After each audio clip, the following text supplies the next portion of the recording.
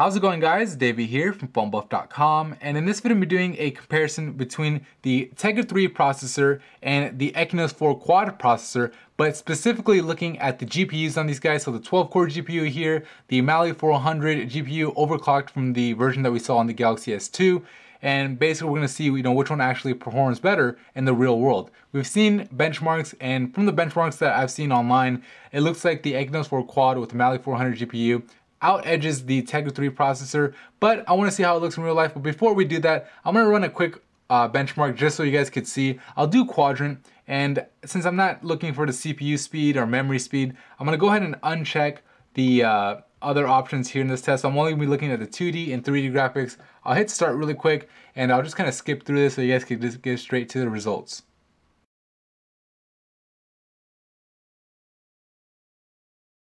Okay, so the benchmark is done. Now obviously both of these devices are gonna show up at the top because we only ran the graphics portion of the test. So the Nexus 7 with its Tegra 3 processor scored a 1356. It looks like 356, but there's a one there. It's not showing up, but it's 1356. There you go, that'll show it. Uh, 1356, as you guys can see. And uh, we'll go ahead and look at the Exynos 4 Quad, and it scored a 1722. So 1722. So like I said earlier, uh, the benchmark does seem to favor the Exynos 4 Quad. We'll go ahead and hit home on these guys. And uh, we'll go ahead and run Google Earth to actually test the real world experience that you'll get with each of these devices. So I'm gonna run Google Earth. I'm gonna go to Las Vegas. If you guys are familiar with my uh, GPU tests that I've done in the past, I'm gonna go to Las Vegas, let both devices load up the uh, terrain, basically all the 3D buildings that are in Vegas. And after you know a minute or so of letting each load up, I'll go ahead and do a pinch in, pinch out, and just kind of pan around test, kind of see you know which one actually performs more smoothly. And uh, honestly, I mean, I could have ran games on here. Obviously, you have the Tegra uh, enhanced games on the Tegra 3, and you don't have the on the Exynos 4 Quad. But like you guys have seen on the channel, you guys could actually do a hack that you know makes the non-Tegra processors have that same optimization. So comparing games isn't necessarily a uh, thing that you know I want to do for the actual test. Uh, Google Earth really helps with that because it really does put a lot of uh, pressure or strain on the processors more so than any other game I've seen. So with that said, I'm gonna go ahead and zoom in and uh, let these guys load up for a minute and then I'll skip to the actual test. All right, so I let both devices load up for like a minute or two. Hopefully they're both done. I'll go ahead and uh, start the test on the Exynos 4 Quad because I did load that one up a little bit faster or a little bit uh, before I did it on the Tegra 3. So anyway, uh, we'll go ahead and pinch in and out. So we're looking at a 3D building. This building right here is the Venetian. Uh, you guys can actually see it say Venetian right here. So I'm just gonna zoom in and out and just kind of pay attention to how smooth and or choppy the uh, the whole experience is. So I'll zoom in on it a little bit more. We'll do a 3D kind of landscape.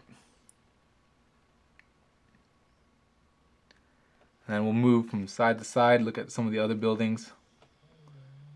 All right. And we'll go ahead and look at the Wynn building now. And we'll do the same exact thing on the Asus Nexus 7 to test that Tegra 3 processor. And uh, the good thing about testing these two tablets is that they're both running the same resolution at 1280 by 800. So the resolution, you know, won't play a factor as far as, you know, one having the edge over the other. And of course, both devices are on the same Wi-Fi network. And you can see pretty smooth. I mean, for the most part, everything seems like it isn't, you know, lagging or anything. Uh, compare this to some of the uh, other devices I've done. I mean, much much smoother compared to the dual cores you know the snapdragon s4 um, and you know other processors like the uh, OMAP 4460 uh, this quad core processor definitely can handle it a lot better and uh, we'll just kind of look at uh, this last building really quick we'll do a 3d view Alright, so hopefully that gives you you an idea as far as the performance you could expect out of that guy. And uh, we'll go ahead and push this off. And uh, now let's look at the Nexus 7 with the Tegra 3. So, all right. We'll again do the pinch in and pinch out. And now we'll do a little 360 view.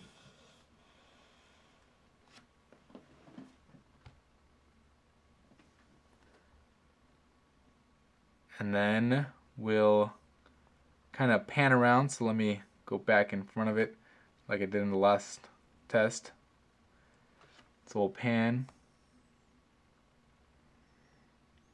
And pretty much it looks like I'm getting just about the same kind of performance. Um, not really, you know, something that I could say easily one is better than the other. Um, maybe you got a little bit choppy right here with the Tegra 3, but there's, you know, the moments where the Exynos 4 Quad had, you know, its choppiness. So really hard to tell. I mean, usually I'm able to get a much better indicator as far as, you know, one outperforming the other. When it comes to this, it doesn't seem like it's making that big of a difference. Let's go ahead and look at the uh, Wynn. Now, of course, you know, this is my opinion. If you guys, you know, are watching the video and kind of could rewind and fast forward and look at uh, the direct comparisons, you'll get a better idea as far as, you know, one performing better than the other. But right now, it kind of actually feels like they're pretty much the same. I mean, I don't know, it looks pretty good to me. So let's go to that last building that I looked at right over here. And we'll do the 360 view of it. And I mean, really, really smooth performance on the Tegra 3. So um, I really can't say, you know, which one performs better just from this comparison. You know, you go off the benchmark and you say, you know, the Exynos 4 Quad seemed like it did perform better. You know, we'll, we'll take one last look at it side by side. So I'll do a 360 view. And you can see, I mean, it's really, really smooth.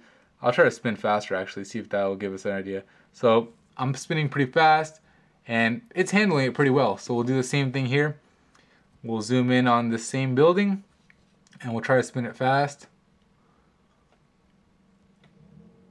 And again, it seems to be handling it pretty well as well. And uh, you got to remember, I mean, right now, there's a lot of 3D content being loaded on. It doesn't look like much, maybe, but if you feel these two tablets, I can feel them getting hot through the screen. You know, if I turn them around and felt the battery, those things are burning up right now. But again, it looks really smooth. So anyway, just wanted to do this comparison video. You know, unfortunately, we didn't get a clear winner. You know, you kind of have to go off maybe the benchmark and assume that, that maybe the uh, or the uh, Exynos 4 Quad's better. But at the same time, you know, benchmarks aren't a reflection of real world experience. You know, when it comes to real world experience, it seems the same. And also, the Tegra 3 processor has its advantages because when it comes to actually taking advantage of the great, you know, graphics capabilities, Tegra 3 actually does that more so than the Exynos because there's Tegra 3 optimized games. There isn't Exynos 4 quad, you know, optimized games out on the Play Store. So, you know, you give the edge for the benchmarks here, you give the edge for the better games and optimized games here, and uh, from the real world performance, they seem just about the same to me. And uh, pretty much you gotta pick your poison. But anyway, that's it from me in this video. If you found it helpful, please hit the like button and subscribe to the channel. Thank you.